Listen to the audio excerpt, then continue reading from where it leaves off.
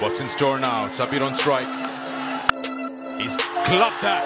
Will he clear? He's in this tournament so far.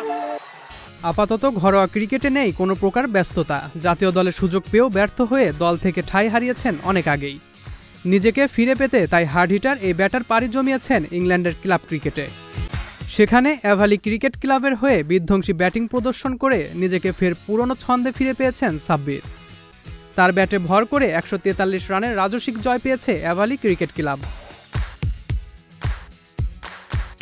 Toss জিতে প্রথমে ব্যাটিংয়ের সিদ্ধান্ত নেন সাব্বিরের দল অ্যাভালি ক্রিকেট ক্লাবের অধিনায়ক মোহাম্মদ টিপু।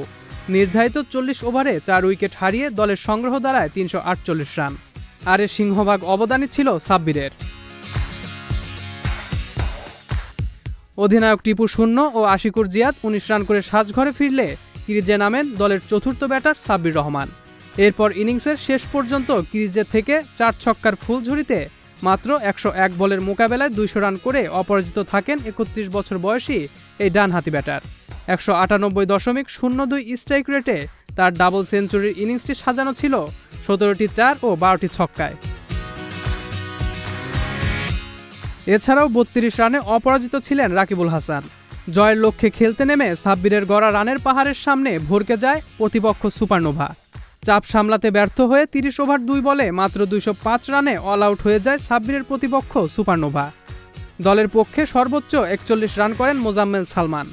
এছাড়া মোহাম্মদ হাসান চল্লিশ ও ইশাক শাওন করেন চৌত্রিশ রান। ব্যাট হাতে তাণ্ডব চালানোর পর বল হাতেও উজ্জ্বল ছিলেন সাব্বির। চল্লিশ ওভারের ম্যাচে প্রতি বোলারদের জন্য বরাদ্দ সর্বোচ্চ আট ওভার। সেই কোটা পূর্ণ করে বান্ন রান খরচে দুটি উইকেট শিকার করেন তিনি। এছাড়া চারটি উইকেট শিকার করেন অ্যাভালি ক্রিকেট ক্লাবের অধিনায়ক টিপু। তবে চার ছক্কার পশ্চা সাজিয়ে দলের জয়ের আসল নায়ক সাব্বির রহমান।